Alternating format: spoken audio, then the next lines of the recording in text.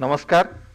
ଆଜି ଆମର ଏ କୋଭିଡ଼ ଆଲୋଚନା ଚକ୍ରକୁ ଓଡ଼ିଶାର ସମସ୍ତ ଭାଇ ଭଉଣୀମାନଙ୍କୁ ମୁଁ ପୁଣି ଥରେ ସ୍ୱାଗତ ଜଣାଉଛି। ଆମେ ସମସ୍ତେ ଜାଣିଛେ ଯେ କୋଭିଡ଼ ଏପରି ଏକ ରୋଗ ଯିଏ କେବଳ ଗୋଟିଏ ଅଙ୍ଗକୁ ନୁହେଁ ଶରୀରର ବିଭିନ୍ନ ଅଙ୍ଗ ପ୍ରତ୍ୟଙ୍ଗକୁ ଆକ୍ରାନ୍ତ କରେ। ଏଥିରେ ବିଭିନ୍ନ ଅଙ୍ଗ ପ୍ରତ୍ୟଙ୍ଗ ଏକ ସମୟରେ ଆକ୍ରାନ୍ତ ହେଉଥିବାରୁ ରୋଗୀ ଗୁରୁତର ଅବସ୍ଥାକୁ ଯାଏ ଏବଂ ମୃତ୍ୟୁମୁଖରେ ପଡ଼ିବାର ମଧ୍ୟ ଭୟ ରହିଛି। ତେବେ ଏଇ ଅଙ୍ଗ ଆକ୍ରାନ୍ତ ହେବା ବ୍ୟତୀତ ଯାହା ଆମର ଆଉ ଗୋଟିଏ ଗୁରୁତ୍ୱପୂର୍ଣ୍ଣ ଅଂଶ ରହୁଛି ମଣିଷ ଜୀବନର ଯାହା ମନ ସେ ମନକୁ ମଧ୍ୟ ଏ ଆକ୍ରାନ୍ତ କରୁଛି ରୋଗ ବହୁଳ ଭାବରେ। ଏ କଥା ଆପଣମାନେ ଅଳ୍ପ ବହୁତ ଅନୁଭବୀ। ତେଣୁ ମନ ଉପରେ ଏ କୋଭିଡ଼ର କି ପ୍ରକାର ନକାରାତ୍ମକ ପ୍ରଭାବ ପଡ଼ିଛି ଏବଂ ତାହା ମାନସିକ ରୋଗୀମାନଙ୍କ ପାଇଁ କେମିତି ସମସ୍ୟା ବହୁଳ ହୋଇକି ସାବ୍ୟସ୍ତ ହୋଇଛି ସେ ବାବଦରେ ଆଜି ଆଲୋଚନା କରିବା ପାଇଁ ଆମେ ଆମର ଓଡ଼ିଶାର ଶ୍ରୀରାମଚନ୍ଦ୍ର ଭଞ୍ଜ ମେଡ଼ିକାଲ କଲେଜର ଯେଉଁ ମେଣ୍ଟାଲ ହେଲ୍ଥ ଇନଷ୍ଟିଚ୍ୟୁଟ୍ ଅଛି ତାର ନିର୍ଦ୍ଦେଶକ ମହାତୟ ବା ଡାଇରେକ୍ଟର ଡକ୍ଟର ଶାରଦା ପ୍ରସନ୍ନ ସ୍ୱାଇଁଙ୍କୁ ଆମନ୍ତ୍ରିତ କରିଛୁ ଯିଏ ଆପଣମାନଙ୍କ ସହିତ ଆଜି ଆଲୋଚନା ମାଧ୍ୟମରେ ଆପଣଙ୍କର ସନ୍ଦେହ ମୋଚନ କରିବେ। ସାର୍ ନମସ୍କାର। ନମସ୍କାର। ଲୋକମାନଙ୍କ ତରଫରୁ ମୁଁ ପ୍ରଥମ ପ୍ରଶ୍ନ ନେଇକରି ସାର୍ ଆପଣଙ୍କ ପାଖକୁ ଆସୁଛି। ଆଜିର ପ୍ରଥମ ପ୍ରଶ୍ନ ରହିଛି ଯାହା ମୁଁ କହିଲି ଯେ କୋଭିଡ଼ରେ ମୁଖ୍ୟତଃ ଲଙ୍ଗସ୍ ଲିଭର ହାର୍ଟ ବ୍ରେନ୍ ଏସବୁ ଗୁରୁତ୍ୱପୂର୍ଣ୍ଣ ଅଙ୍ଗ କିଡ଼ନୀ ଏସବୁ ଆକ୍ରାନ୍ତ ହେଉଛି। ତେବେ ଲୋକର ମନ ଉପରେ କୋଭିଡ଼ କି ପ୍ରକାର ନକାରାତ୍ମକ ପ୍ରଭାବ ପକାଇଛି ବା କୋଭିଡ଼ ଦ୍ୱାରା ଲୋକର ମାନସିକ ସ୍ଥିତି କିପରି ବିଗିଡ଼ିଛି ସେ ସମ୍ବନ୍ଧରେ ଟିକେ ବୁଝାଇବେ। କୋଭିଡ଼ ସମୟରେ ଆମେ ଯଦି ପ୍ରକୃତ ପକ୍ଷେ ଦେଖିବା ଯେହେତୁ କୋଭିଡ଼ ଗୋଟେ ଅଜଣା ରୋଗ ଆଉ ଆର କୌଣସି ଗୋଟେ ନିର୍ଦ୍ଦିଷ୍ଟ ତଥ୍ୟାତ୍ମକ ଚିକିତ୍ସା ନାହିଁ ତେଣୁ ଯେତେବେଳେ କୋଭିଡ଼ରେ ଜଣେ ବ୍ୟକ୍ତି ଆଫେକ୍ଟେଡ଼ ହେଉଛି ତାର ପ୍ରଥମେ ମାନସିକ ସନ୍ତୁଳନରେ ଭାରସାମ୍ୟ ରହୁନି। ଅର୍ଥାତ୍ ତାର ମାନସିକ ଅସନ୍ତୁଳନ ଦେଖାଦେଉଛି ସେ ପ୍ରଥମେ ଗୋଟେ ଅହେତୁକ ଭୟରେ ଆକ୍ରାନ୍ତ ହେଉଛି। ସେ ଭାବୁଛି ମୁଁ କାଳେ କୋଭିଡ଼ରେ ଆକ୍ରାନ୍ତ ହୋଇଯିବି। କୋଭିଡ଼ରେ ଆକ୍ରାନ୍ତ ହେବା ଦ୍ୱାରା ମୋର କାଳେ ମୃତ୍ୟୁ ମୁଖରେ ମୁଁ ପଡ଼ିବି କିମ୍ବା ମୁଁ କୌଣସି ସମୟରେ ମୋର ଶରୀରର କୌଣସି ଅଙ୍ଗ ଖରାପ ହୋଇଯାଇପାରେ ଏ ଅହେତୁକ ଭୟଭାବ ତା ମନରେ ଯେପରି ଭାବେ ସୃଷ୍ଟି ହେଉଛି ଯାହା ତାର ବଡ଼ିର ଇମ୍ୟୁନିଟି ବା ରୋଗ ପ୍ରତିରୋଧ ଶକ୍ତି କମାଉଛି। ତେଣୁ ଶାରୀରିକ ରୋଗରେ ଆକ୍ରାନ୍ତ ହେବା ଅପେକ୍ଷା ରୋଗୀଟି ପ୍ରଥମେ ଆଗ ମାନସିକ ରୋଗ ଭଳି ଗୋଟେ ସିମ୍ପଟମ୍ରେ ଆକ୍ରାନ୍ତ ହେଉଛି ତାପରେ ତାହା ରୋଗୀର ଲଙ୍ଗସ୍ ଲିଭର କିମ୍ବା ହାର୍ଟ ଅଲଗା କୌଣସି ଅର୍ଗାନକୁ ଆଫେକ୍ଟ କରୁଛି। ଆଚ୍ଛା ଆମର ଏଇ ଯେଉଁ ବିଭିନ୍ନ ମାନସିକ ରୋଗ ସବୁ ରହିଛି ଆଜି ନୂଆ କରି ଆସିନି ଆମ ସମାଜରେ ବହୁତ ଆଗରୁ ରହିଛି। ଏ କୋଭିଡ଼ ସମୟରେ ସେଇଭଳି ମାନସିକ ରୋଗୀମାନଙ୍କର ଅବସ୍ଥା ତାଙ୍କର ରୋଗର ସ୍ତର ତାହା ବଢ଼ିଛି କିମ୍ବା କମିଛି କ'ଣ ଲକ୍ଷଣ ଆପଣ ଦେଖୁଛନ୍ତି ସବୁ? ହଁ କୋଭିଡ଼ ସମୟରେ ନିଶ୍ଚୟ ଭାବେ ଯେଉଁମାନେ ପୂର୍ବରୁ ମାନସିକ ରୋଗୀ ଥିଲେ ସେମାନଙ୍କର ମାନସିକ ରୋଗ ବଢ଼ି ଚାଲିଛି। ଯେଉଁମାନଙ୍କର ମାନସିକ ରୋଗ ନଥିଲା ସେମାନେଙ୍କ ମନରେ ଏଇ ଯେଉଁ ଅଜଣା ରୋଗ ବିଷୟରେ ଯେଉଁ ଗୋଟେ ଅହେତୁକ ଭୟ ସୃଷ୍ଟି ହେଲା ଯେଉଁମାନଙ୍କର ଏକ୍ସପେସିଆଲି ଯେଉଁମାନଙ୍କର ଥାଏ ଜେନେଟିକ୍ ଜେନେଟିକ୍ ଲୋଡ଼ିଂ ଥାଏ ବା ଜେନେଟିକାଲି ଯେଉଁମାନେ ପ୍ରୋନ୍ ସେମାନଙ୍କ ମଧ୍ୟ ରୋଗଟା ଆସ୍ତେ ଆସ୍ତେ ଆରମ୍ଭ ହୋଇଗଲା। ବହୁତ ଲୋକ ସାଧାରଣ ଭାବେ ଛାନିଆ ରୋଗ ବା ମାନସିକ ବିଷାଦ ରୋଗ ବା ନିଦ୍ରାହୀନତା ଏହିସବୁ ରୋଗରେ ଆକ୍ରାନ୍ତ ହେଲେ। ତେଣୁ ମାନସିକ ରୋଗୀଙ୍କର ରୋଗ ବଢ଼ିଲା ଯେଉଁମାନଙ୍କର ରୋଗ ନଥିଲା ସେମାନଙ୍କର ବି ରୋଗ ବଢ଼ିଲା। ଅର୍ଥାତ୍ ସେମାନେ ରୋଗ ସହିତ ଏଇ ରୋଗ ସହିତ ଆଉ ଆମ ସୋସାଇଟିରେ ଆସ୍ତେ ଆସ୍ତେ ଆତ୍ମହତ୍ୟା ପ୍ରବଣତା ଭାବ ବା ସୁଇସାଇଡାଲିଟି ଆଉ ଯେଉଁ ଡ୍ରଗ୍ ଆଡ଼ିକ୍ସନ୍ ପ୍ରୋବ୍ଲେମ୍ ଏଇଟା ବି ବହୁଳ ଭାବରେ ଦେଖାଯାଇଛି ଆମର କୋଭିଡ଼ ପରେ। ଆଚ୍ଛା କୋଭିଡ଼ରେ ବିଭିନ୍ନ ବୟସର ଲୋକ କୋଭିଡ଼ ଆକ୍ରାନ୍ତ ହେଉଛନ୍ତି। ଉଭୟ ପୁରୁଷ ଓ ସ୍ତ୍ରୀ ସେମାନେ ମଧ୍ୟ ଆକ୍ରାନ୍ତ ହେଉଛନ୍ତି। ଆର୍ଥିକ ସ୍ଥିତି ଦେଖିବାକୁ ଗଲେ ଧନୀ ଲୋକ ବି ଏଥିରେ ଆକ୍ରାନ୍ତ ହେଉଛନ୍ତି ଗରିବ ଲୋକ ବି ଆକ୍ରାନ୍ତ ହେଉଛନ୍ତି। ଏସବୁ ବିଭିନ୍ନ ବର୍ଗର ଲୋକଙ୍କ କ୍ଷେତ୍ରରେ କୋଭିଡ଼ ଆକ୍ରାନ୍ତ ହେବା ବେଳେ ମାନସିକ ସ୍ଥିତିରେ କିଛି ତାରତମ୍ୟ ଆପଣ ଅନୁଭବ କରୁଛନ୍ତି କି? ହଁ ମାନସିକ ସ୍ଥିତିରେ ତାରତମ୍ୟ ରହିଛି।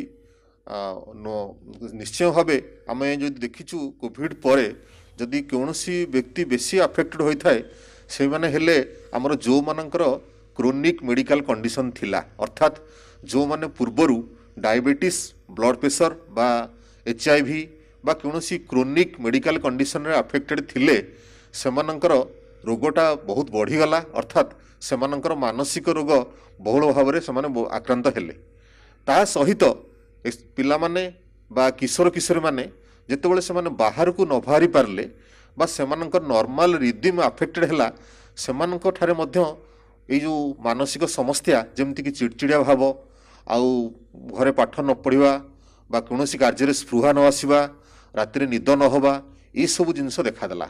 ତେଣୁ ଏଇ କୋଭିଡ଼ ସମୟରେ ସାଧାରଣ ଭାବେ ଆମର ଯେଉଁମାନେ ଯେଉଁମାନେ ବୟସ୍କ ବ୍ୟକ୍ତି ଷାଠିଏ ବର୍ଷରୁ ଉର୍ଦ୍ଧ୍ୱ ସେମାନଙ୍କ ଠାରେ ମଧ୍ୟ ବହୁତ ସମୟରେ ମାନସିକ ରୋଗର ଲକ୍ଷଣମାନ ଦେଖାଦେଲା। ତେଣୁ ଆମର ବୟସ ହଉ ବା ଆମର ଲିଙ୍ଗ ହଉ ସେଥିରେ ସେତେଟା ପାର୍ଥକ୍ୟ ନାହିଁ କିନ୍ତୁ ଯେଉଁମାନଙ୍କର କ୍ରୋନିକ୍ ମେଡ଼ିକାଲ କଣ୍ଡିସନ୍ ଥିଲା ପିଲାମାନେ ଆଉ ଯେଉଁମାନେ ପ୍ରେଗନାଣ୍ଟ ଲେଡି ବା ଲାକ୍ଟେଟିଂ ଲେଡି ଏମାନେ ବହୁଳ ଭାବରେ ଆଫେକ୍ଟେଡ଼ ହୋଇଥିଲେ ଆଉ ଏମାନେ ସବୁଠୁ ବଡ଼ ରିସ୍କରେ ଥିଲେ। ଆଉ ତା ସହିତ ଯେଉଁମାନଙ୍କର ସାମାନ୍ୟ କୌଣସି କାରଣରୁ ଆର୍ଥିକ ଅନାଟନ ଭାବ ଥିଲା ତାହା ମଧ୍ୟ ମାନସିକ ରୋଗକୁ କିଛି ଭାବରେ ପ୍ରଭାବିତ କରିଥିଲା। ଟିକେ ଆଗରୁ ଆପଣ କହୁଥିଲେ ଯେ କୋଭିଡରେ ଉମ୍, ସହିତ ଗୋଟେ ଅହେତୁକ ଭୟ ଜଡ଼ିତ ରହିଛି। ତେବେ ଏଇ ଯେଉଁ ଅହେତୁକ ଭୟ ରହୁଛି ଲୋକମାନଙ୍କ ମନରେ ତାହା ନୂଆ କରି କିଛି ରୋଗ ମାନସିକ ରୋଗ ସୃଷ୍ଟି କରିଥିବା ଆପଣଙ୍କ ନଜରକୁ ଆସିଛି କି? ନିଶ୍ଚୟ। କୋଭିଡ଼ ସମୟରେ ଯେଉଁ ଲୋକମାନଙ୍କର ଅହେତୁକ ଭୟ ରହିଲା ଅହେତୁକ ଭୟ କୌଣସି କାରଣରୁ ଯଦି ଲାଗିକିରି ରୁହେ ତାହେଲେ କ'ଣ ହୁଏ? ଲୋକଟା ଜେନେରାଲାଇଜ୍ ଆଙ୍ଜାଇଟି ଡିଜର୍ଡରରେ ଆକ୍ରାନ୍ତ ହେଲା ପରେ ପରିଶେଷରେ ସେ ମାନସିକ ବିଷାଦ ବା ଡିପ୍ରେସନ୍ ରୋଗରେ ଆକ୍ରାନ୍ତ ହୁଏ। ଆଉ ଏଇ ମାନସିକ ବିଷାଦ ବା ଡିପ୍ରେସନ୍ ରୋଗ ଆଉ ଆଙ୍ଜାଇଟି ମିଶିକିରି ରହିଲେ ଯଦି ଲୋକମାନଙ୍କର କୌଣସି ମେଡ଼ିକାଲ କଣ୍ଡିସନ୍ ଅଛି ଯେମିତିକି ବ୍ଲଡ଼ ପ୍ରେସର ବା ଡାଇବେଟିସ୍ ଅଛି ସେ ରୋଗ ବି କମ୍ପ୍ଲିକେଟେଡ୍ ହେଇଯାଏ।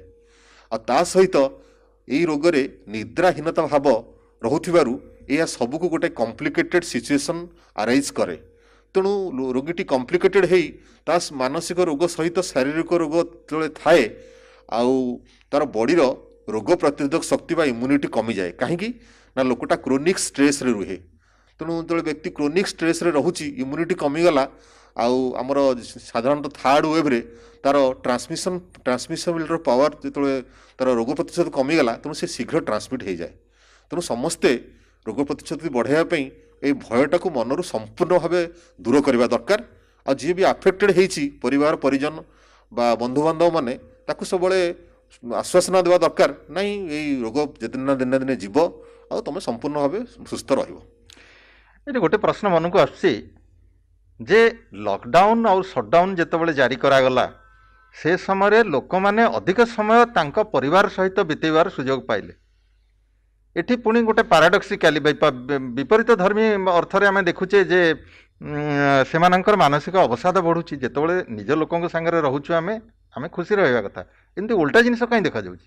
ଏଇତ ଗୋଟେ ବହୁତ ଭଲ ପ୍ରଶ୍ନ। ଆମେ ଦେଖିଲୁ କୋଭିଡ଼ ସମୟରେ ଲୋକମାନେ ବହୁତ ସମୟ ଘରେ ରହିଲେ। କିନ୍ତୁ ଓଲଟା ଭାବେ ଦେଖାଗଲା ସେମାନଙ୍କର ମାନସିକ ରୋଗ ତଥା ମାନସିକ ବିଷାଦ ବା ଆଙ୍ଜାଇଟି ବା ସ୍ଲିପ୍ ଡିଜର୍ଡର ବହୁତ ବଢ଼ିଗଲା। କାହିଁକି? ନା ମଣିଷର ଯେଉଁ ନର୍ମାଲ ରିଦିମ୍ ସେଟା ଆଫେକ୍ଟ ହେଲା। ଉଦାହରଣ ସ୍ୱରୂପ ଜଣେ ବ୍ୟକ୍ତି ସକାଳୁ ଉଠି ତାର ନିତ୍ୟକର୍ମ ସାରି ସେ ତାର କାମକୁ ବାହାରିଯାଏ।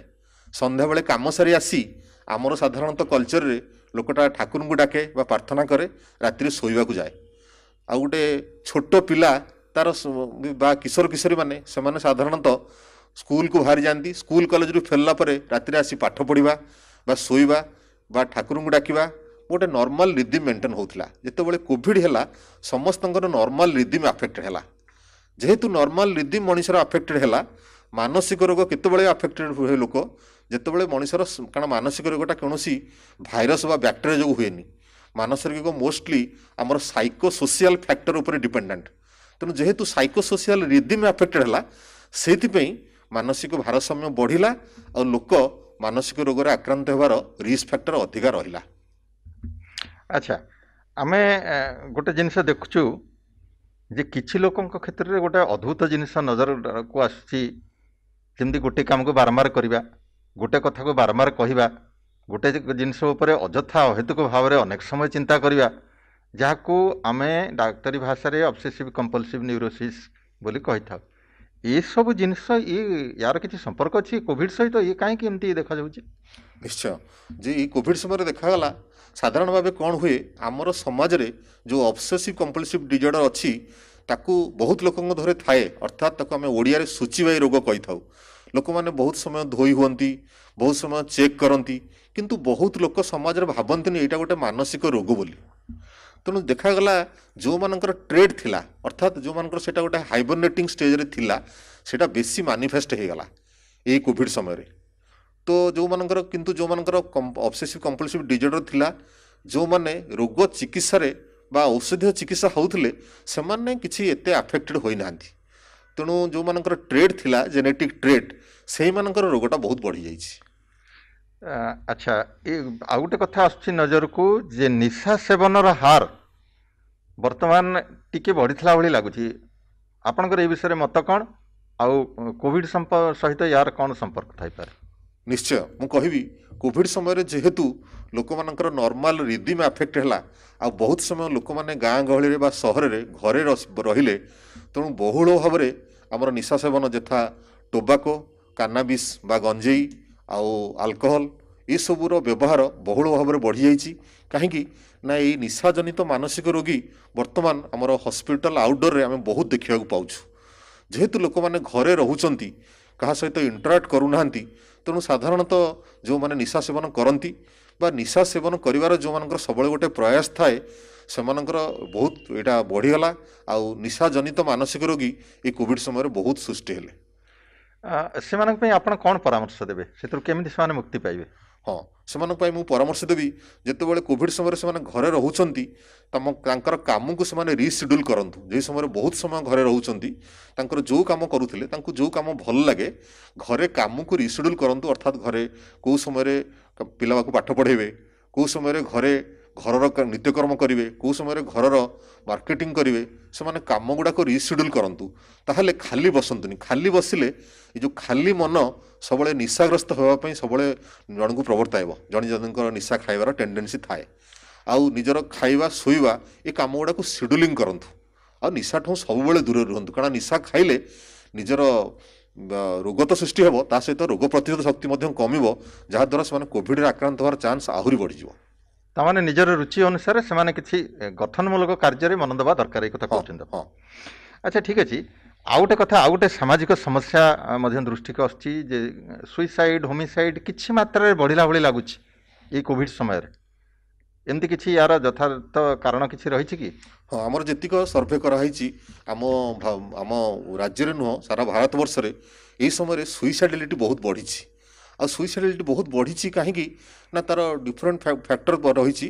କାରଣ ପ୍ରଥମ ଫ୍ୟାକ୍ଟର ହେଲା ଆମର ଯେଉଁମାନେ ମାନସିକ ରୋଗୀ ଥିଲେ ଯେହେତୁ ରୋଗଟା ବଢ଼ିଗଲା ତେଣୁ ସେମାନଙ୍କର ଆତ୍ମହତ୍ୟା ପ୍ରବଣତା ଭାବ ବଢ଼ିଗଲା। ତା ସହିତ ଯେହେତୁ ମଣିଷର ନର୍ମାଲ ରିଦିମ୍ ଆଫେକ୍ଟ ହେଲା ମୁଁ କହିଲି ସେଟା ବି ତାକୁ ଆଡ଼ପ୍ଟ କଲା।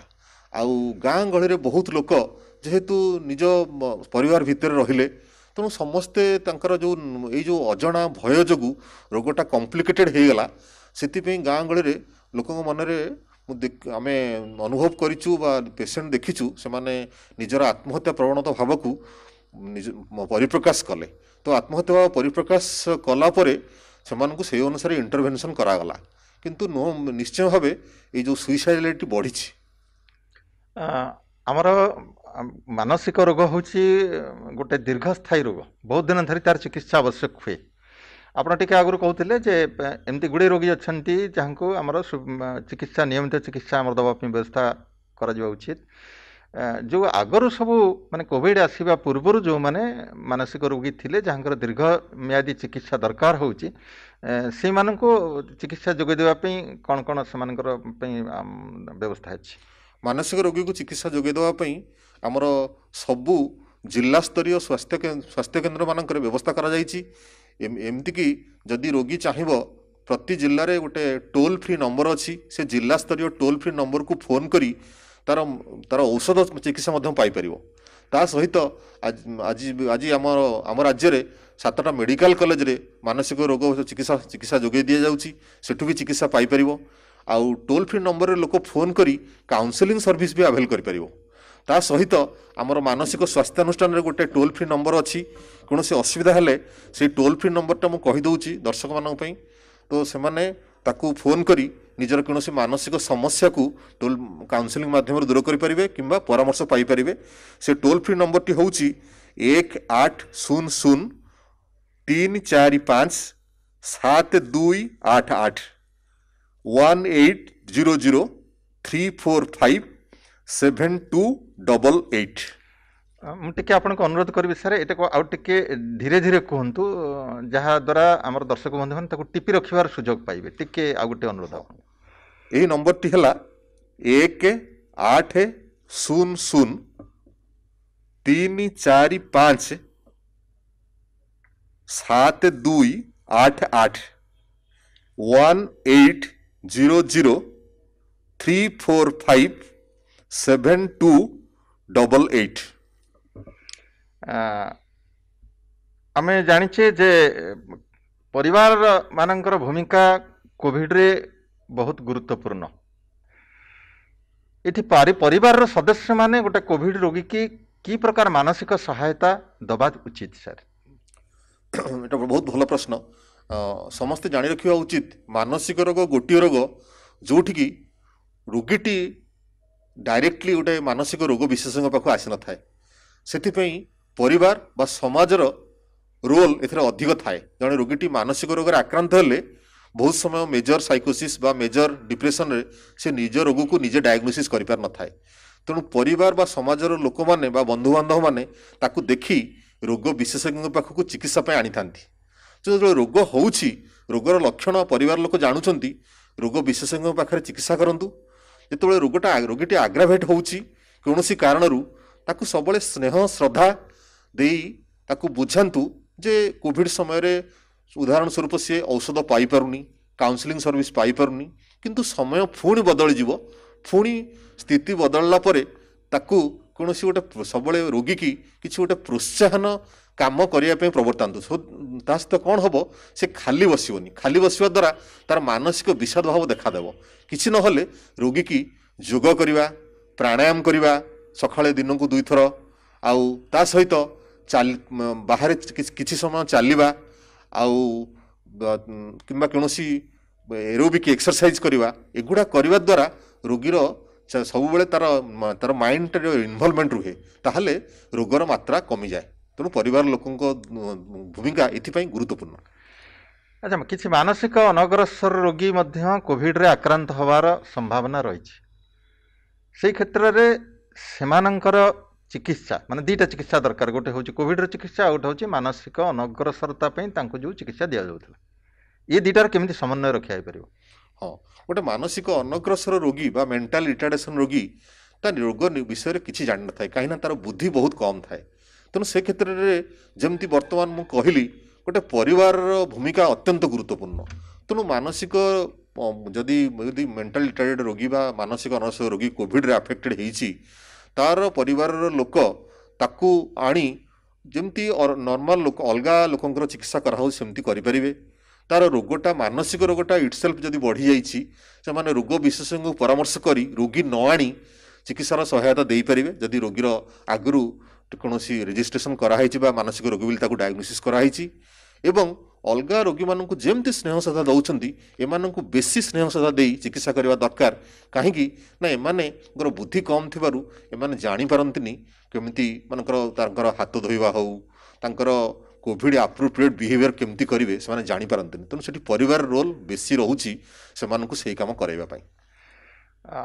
ଆଉ ଗୋଟେ ସାଧାରଣ ଜିନିଷ ଯଦିଓ ମାନସିକ ରୋଗ ସହିତ ସେଇଟାର ବିଶେଷ ଅ, ସମ୍ପର୍କ ନାହିଁ ତେବେ ଆମ ନଜରକୁ ଆସୁଛି ଯେ ଯେଉଁ ଟିକାଦାନ ସମ୍ପର୍କରେ ଗୁଡ଼ିଏ ଭ୍ରାନ୍ତ କଥା ଅନେକ ଲୋକ ପ୍ରଚାର କରୁଛନ୍ତି ଯାହାଫଳରେ ଲୋକମାନେ ମିସଗାଇଡେଡ଼ ହେଉଛନ୍ତି। କେବଳ ଟିକାଦାନ ନୁହେଁ କୋଭିଡ଼ ସମ୍ପର୍କରେ ଅନେକ ଭ୍ରାନ୍ତ କଥା ଶୁଣିବାକୁ ମିଳୁଛି ଆଉ ଅନେକ ଲୋକ ତାକୁ ପ୍ରଚାର କରିବାକୁ ଭଲ ପାଉଛନ୍ତି। ଏ ବାବଦରେ ଆପଣ କ'ଣ ଲୋକମାନଙ୍କୁ କହିବେ? ଆଉ ଲୋକମାନେ କିପରି କେଉଁ କଥାକୁ ଗ୍ରହଣ କରିବା ଉଚିତ ସେ ବାବଦରେ ଟିକେ ପରାମର୍ଶ ଦିଅନ୍ତୁ। ହଁ ଏଇଟା ସାର୍ ଆପଣ ଗୋଟେ ବହୁତ ଭଲ ପ୍ରାକ୍ଟିକାଲ କ୍ୱେଶ୍ଚିନ୍ ପଚାରିଲେ। କାରଣ ମୁଁ ଅନୁଭବ କରିଛି ଆମର ବହିର୍ବିଭାଗରେ ବହୁତ ସମୟ ଅନେକ ଲୋକ ଆଜି ବି ଥାର୍ଡ ୱେଭ୍ ପରେ ଗୋଟିଏ କ୍ୱେଶ୍ଚିନ୍ ପଚାରୁଛନ୍ତି ଯେ ଆମେ ଟୀକା ନେବୁ ନା ନାହିଁ। ଏପର୍ଯ୍ୟନ୍ତ ବି ଲୋକମାନଙ୍କ ମନରେ ଯେଉଁ ସଚେତନତା ଭାବ ସୃଷ୍ଟି ହେଇନି। ତେଣୁ ମୁଁ ସମସ୍ତଙ୍କୁ ଅନୁରୋଧ କରିବି ଗୋଟେ ମାନସିକ ରୋଗୀ ଅଲଗା ଯେକୌଣସି ରୋଗୀ ଭରି ଟୀକା ନେଇପାରିବ। ବୁଷ୍ଟର ଡୋଜ୍ ଯଦି ଦିଆଯାଉଛି ତାକୁ ସରକାରଙ୍କ ନିୟମ ଅନୁସାରେ ତାକୁ ନେଇପାରିବ ତାହେଲେ ସେ ନିଜକୁ ପ୍ରୋଟେକ୍ଟ କରିପାରିବ। ଆଉ ଏଇ ଅଜଣା ଏଇ ଯେଉଁ ଆମର କୋଭିଡ଼ ସମୟରେ ବହୁତ ମାନେ ଯୋଉ ତଥ୍ୟ ଦରକାର ନାହିଁ ଯୋଉଟା ସବୁ ଯୋଉ ତଥ୍ୟ ବିଭିନ୍ନ ସବୁ ଭୁଲ ତଥ୍ୟ ପରିବେଷଣ କରାଯାଉଛି ତାଠୁ ସମସ୍ତେ ଦୂରରେ ରୁହନ୍ତୁ। ଯୋଉଟାକ ସରକାରଙ୍କର ଯେମିତିକି ଆମର ଆଇସିଏମ୍ଆର୍ ୱେବସାଇଟ୍ କିମ୍ବା ଆମର ସରକାରଙ୍କ ୱେବସାଇଟ୍ରେ ଯୋଉ ତଥ୍ୟ ଦିଆହେଉଛି ତାକୁ ଠିକ୍ ବୋଲି ଭାବନ୍ତୁ ଆଉ ତାକୁ ଠିକ୍ ଭାବି ସେଇ ଅନୁସାରେ ଯୋଉ ଇନଫର୍ମେସନ୍ ଦିଆଯାଉଛି ଟୀକା ନେବା ହଉ ଔଷଧ ଖାଇବା ହଉ କିମ୍ବା ମାନସିକ ରୋଗ ସମ୍ବନ୍ଧୀୟ ଚିକିତ୍ସା ସମ୍ବନ୍ଧରେ ଯାହା କରାଯାଉଛି ତାକୁ ହିଁ ଫଲୋ କରନ୍ତୁ। ଧନ୍ୟବାଦ ସାର୍। ବହୁତ ସୁନ୍ଦର ସୁନ୍ଦର ତଥ୍ୟ ଆଜି ଆପଣ ଆମର ଭାଇ ଭଉଣୀମାନଙ୍କୁ ଦେଲେ ସେମାନେ ନିଶ୍ଚିତ ଏଥିରୁ ଉପକୃତ ହେଇଥିବେ ବୋଲି ମୋର ବିଶ୍ୱାସ। ଆଉ ଥରେ ଅନୁରୋଧ କରୁଛି ଯେ ମାନସିକ ରୋଗୀମାନେ ଗୋଟିଏ ଅନଗ୍ରସର ବର୍ଗ ଭିତରେ ରହିଛନ୍ତି। ସେମାନଙ୍କୁ ସମସ୍ତ ପ୍ରକାର ମାନସିକ ତଥା ଅନ୍ୟାନ୍ୟ ସହାୟତା ଯୋଗାଇ ଦେବା ପରିବାର ଲୋକମାନଙ୍କର ତଥା ସମାଜର ଅନ୍ୟାନ୍ୟ ବ୍ୟକ୍ତିମାନଙ୍କର ମଧ୍ୟ କର୍ତ୍ତବ୍ୟ। ତାହେଲେ ଯାଇ ସେମାନେ ଏ କୋଭିଡ଼ ସମୟରେ ଏକ ସୁସ୍ଥ ବାତାବରଣ ଭିତରେ ବଞ୍ଚିବାର ସୁଯୋଗ ପାଇବେ। ଧନ୍ୟବାଦ। ନମସ୍କାର। ନମସ୍କାର।